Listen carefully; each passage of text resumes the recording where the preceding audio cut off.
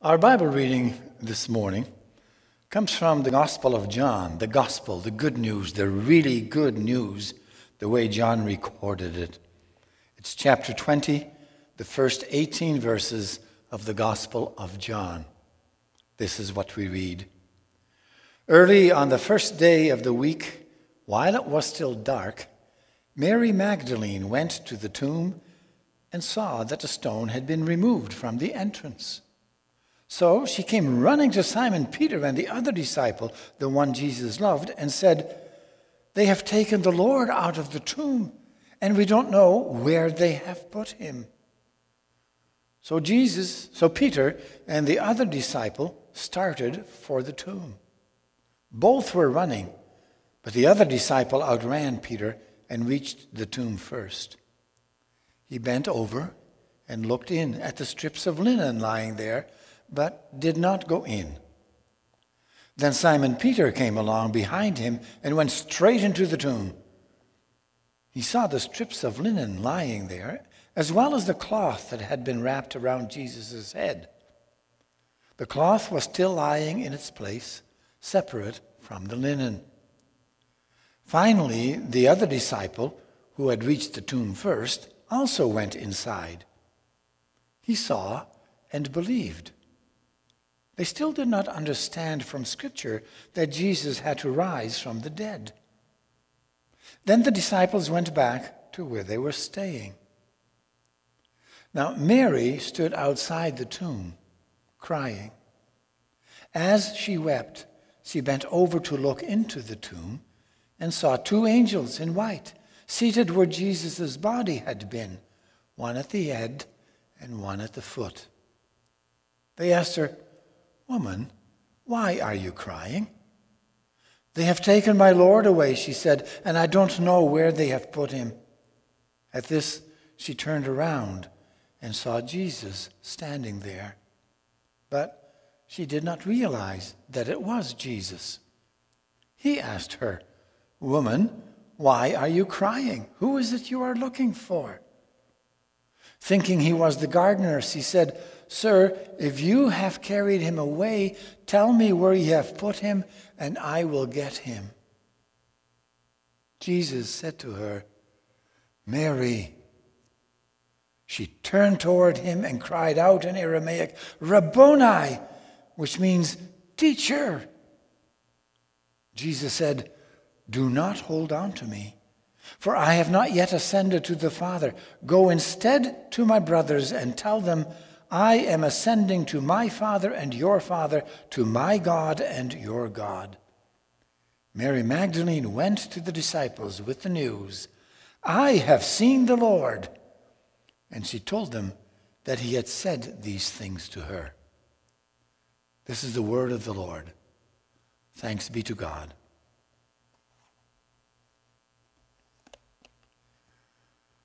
Dear congregation of the risen Christ, Years ago, when I was teaching English at Toronto District Christian High School, a chemistry teacher, taking some, some phosphorus out of a container of water, accidentally dropped a piece of it on the classroom floor. The result? Pff, spontaneous combustion. Not what he had planned to demonstrate, I'm sure. The fumes are highly toxic, so the classroom was evacuated, the fire department was called, and students who had had even a small chance of inhaling some of the fumes were bused to a nearby hospital for observation and possible treatment.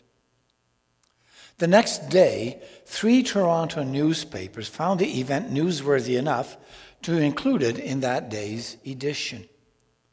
But the difference in reporting was remarkable. The Globe and Mail carried a rather brief, quite objective, factual, one paragraph account of the event. The Toronto Star focused more on the student reaction to the incident. They highlighted more of the emotional impact of the incident on some students, especially on those students who had been bused to the hospital. The Toronto Star was visually much more descriptive.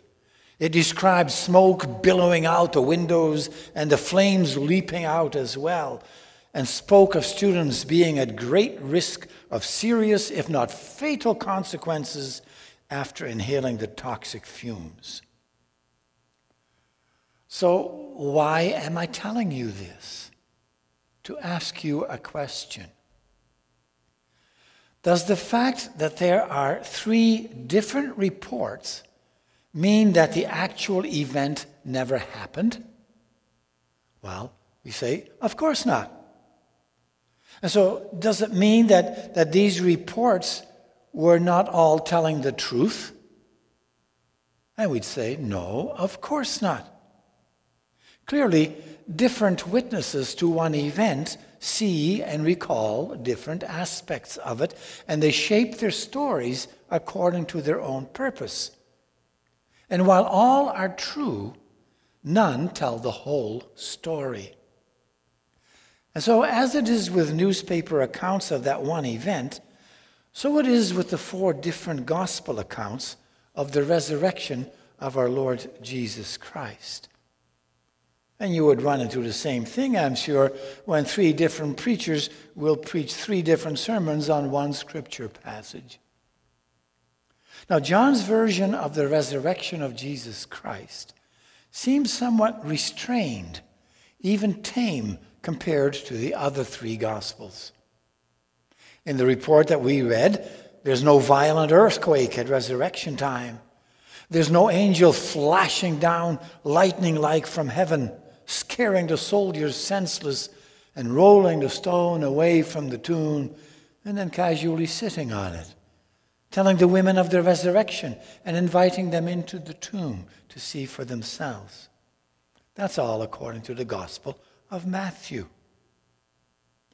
Nor in John are there terrified, bewildered women fleeing from the tomb in utter, utter fear, but commissioned to tell the disciples and Peter about the risen Christ, only to be faced with unbelieving disciples.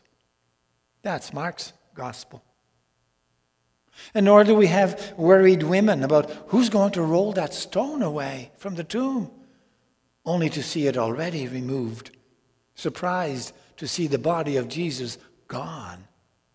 But faced with two men in shining clothes with that wonderful question, and I think it must have had some heavenly laughter in it. Why look for the living among the dead? followed by the powerful declaration, He is risen. Jogging the women's memories, so they run to tell the amazing resurrection story, only to have the disciples tell them they're full of nonsense. That's all in Luke's gospel.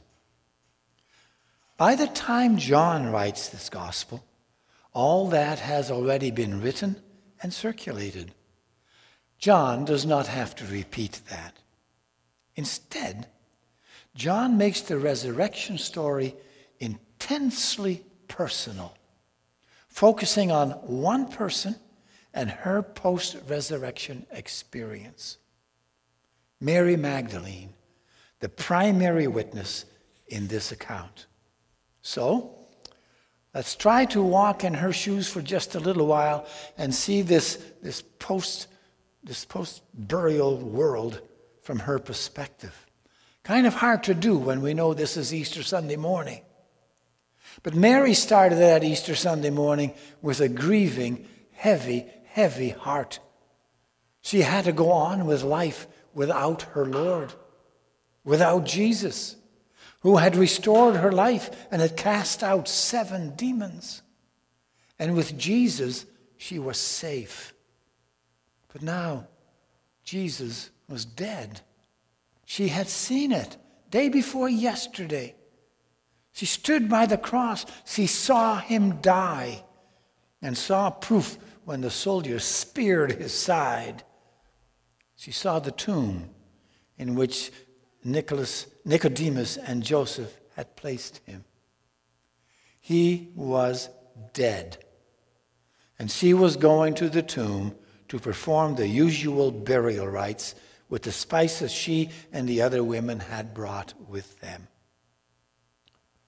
But she's too late.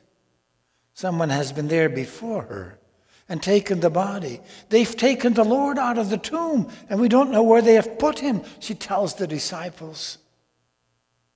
Now, John, the gospel writer here, is very careful to note that, that this empty tomb does not prod her memory.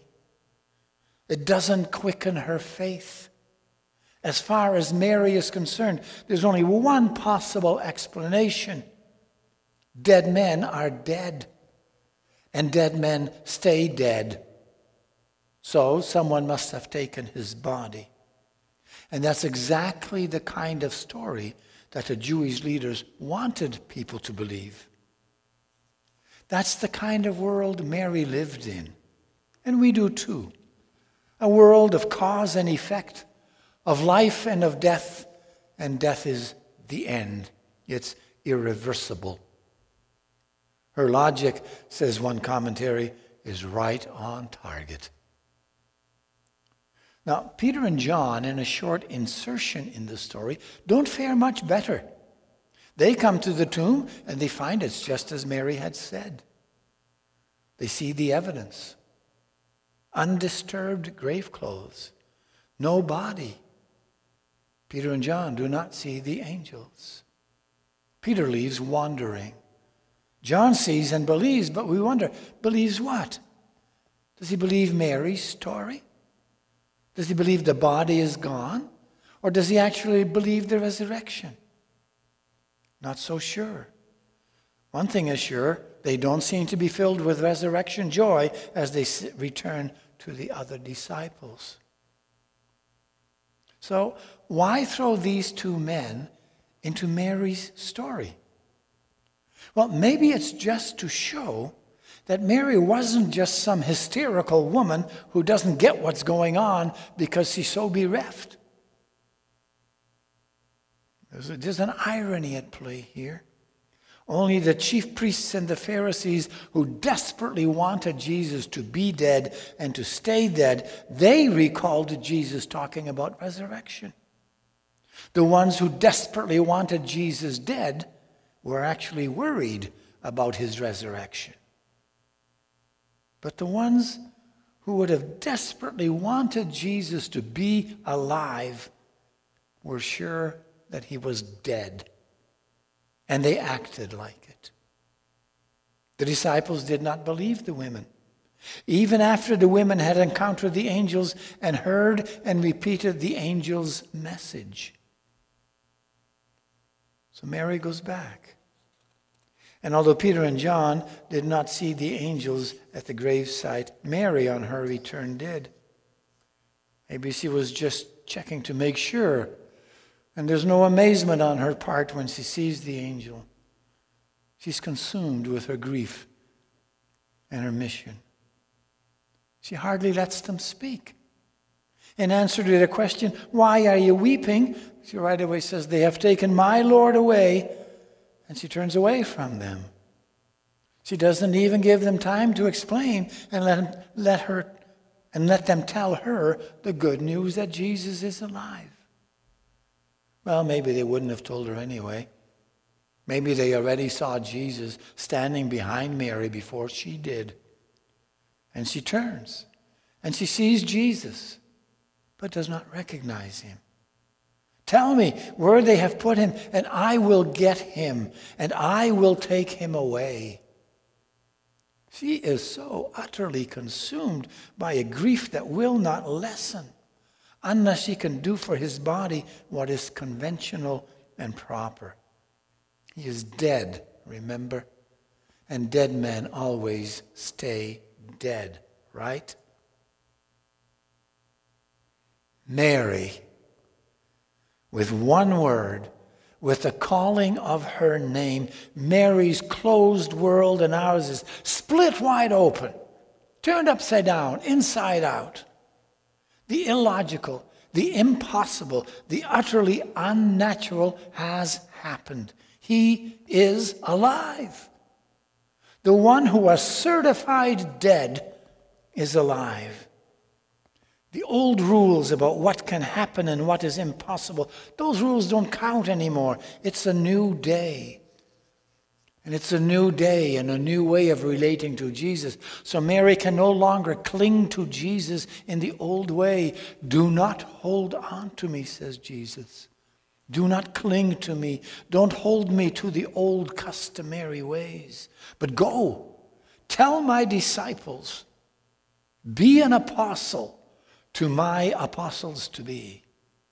And she does, beginning with, I have seen the Lord.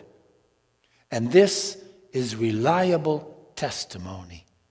Not testimony from one who desperately wanted to see an alive Jesus. Just the opposite. It's reliable testimony from one who resisted the truth three times in a row. And this is why John makes so much of Mary's post resurrection experience. This is John telling us that Mary's testimony is utterly reliable.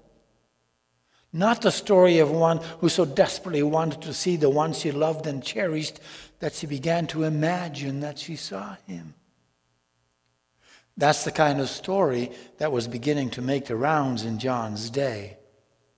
The story that Jesus did not really rise from the dead, just his spirit lived on and his disciples imagined they saw him.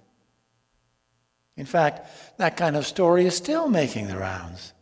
Easter, don't talk about resurrection. It's just a symbol of new life, new plant life, new crops, new flowers, new beginnings, blah, blah, blah. But the resurrection of Jesus is real and is, says Paul in 1 Corinthians 15, crucial to the gospel because without it, we are all dead and most to be pitied. So when Mary saw the real physical Jesus, not only was her world turned irrevocably inside out, but ours too.